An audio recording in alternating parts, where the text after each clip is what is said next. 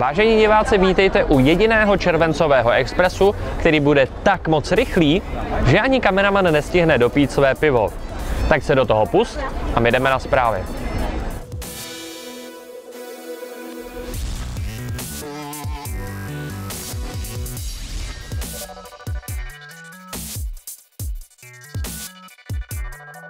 Náměstek primátora Adam Scheinher představil další návrh, jak ještě více vylepšit Smetanovo nábřeží. Budou na něm zejména revidovány polohy tramvajových zastávek, díky kterým se rozšíří velice vytížené nástupiště na Staroměstské, řídí nová zastávka Karlovy Lázdě směr Staroměstská a přesune se tato zastávka Národní divadlo před křižovatku, aby linky jedoucí od Národní třídy nezastavovaly zbytečně dvakrát. Cílem těchto změn je nepřekvapivě plynulejší a rychlejší tramvajová doprava. Jak již od nás víte, tak na Černém mostě má vzniknout velmi drahé parkoviště P plus R pro téměř 900 vozidel.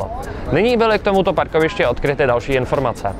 Dokončeno má být na konci příštího roku a bude konkrétně obsahovat 94 míst pro auta na plynový pohon, 22 míst pro ZTP a 8 pro elektromobily.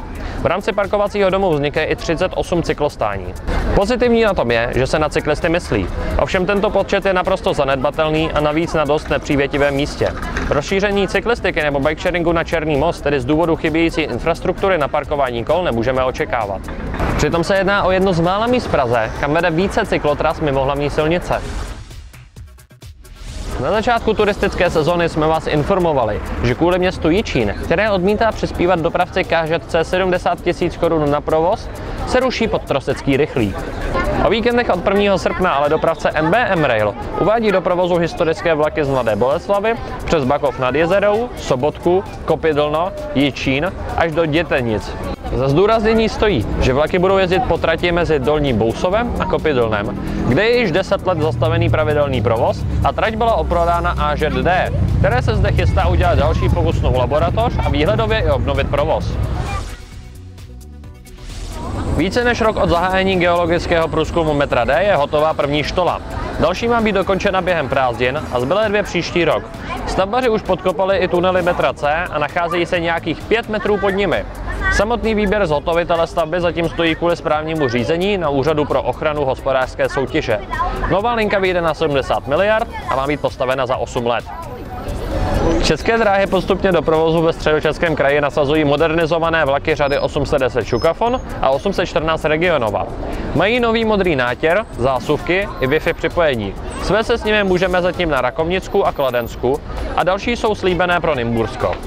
Zpráva železnic vypsala zakázku na aktualizaci dokumentací pro novou trať mezi Prahou a Berounem. Už loni se že rozhodla o variantě, která počítá s téměř 25 km dlouhým tunelem od mostu Inteligence do stanice Beroun. Plán počítá se začátkem stavby v roce 2028.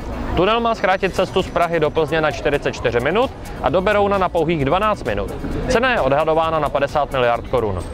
V neděli nás čeká neobvyklá výluka na metru C, konkrétně v úseku nádraží Holešovice Letňany.